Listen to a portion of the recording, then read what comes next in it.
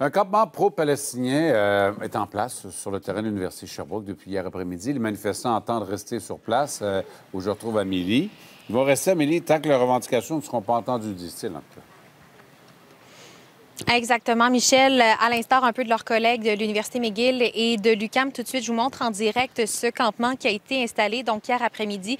C'est tout juste devant euh, le pavillon multifonctionnel ici sur le campus de l'Université de Sherbrooke. Donc la première nuit et le début de journée de ces manifestants euh, qui s'est passé euh, sous la pluie, mais c'est loin de les démoraliser, eux qui veulent rester aussi longtemps qu'il le faudra. Donc c'est une douzaine de tentes environ qui ont été installées. On y retrouve des étudiants, oui, de l'Université de Sherbrooke, mais également des jeunes de l'Université l'Université Bishops et du euh, Cégep de Sherbrooke. Il faut dire que c'est pas la première fois qu'il y a une telle démonstration pro-palestinienne sur le campus. La semaine dernière, il y avait eu un rassemblement pacifique de quelques heures, mais là, les étudiants qui sont vraiment installés euh, à long terme, ils ont fait part euh, à l'Université de Sherbrooke d'une liste de revendications. Ils demandent notamment à l'université de se désinvestir des entreprises qui financent la guerre et demandent également à l'université de dénoncer ce qu'ils qualifient donc de génocide. Selon des co-porte-parole, les étudiants n'ont pas eu de retour de l'université, de la direction, mais ils ont pu s'entretenir avec des agents de sécurité euh, concernant ce campement. Je laisse entendre deux porte-parole qu'on a rencontrés ce matin, qui, euh, ce mouvement donc qui a été inspiré un peu par ce qui se passe également du côté de McGill et de l'UQAM.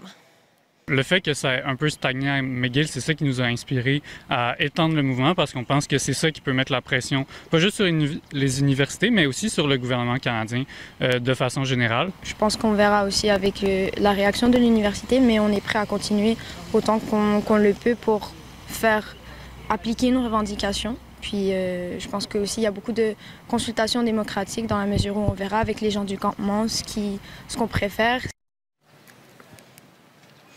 Ça a été impossible pour nous, Michel, pour le moment, de pouvoir nous entretenir avec un porte-parole de l'Université de Sherbrooke. Mais hier, par écrit, l'université, et vous verrez à l'écran, disait reconnaître la liberté d'expression, la liberté académique de sa communauté tant que ça respecte les règles et que ça n'entrave pas les activités de l'institution. Euh, L'Université de Sherbrooke également qui disait euh, hier par écrit euh, vérifier également les, la conformité, oui, des installations.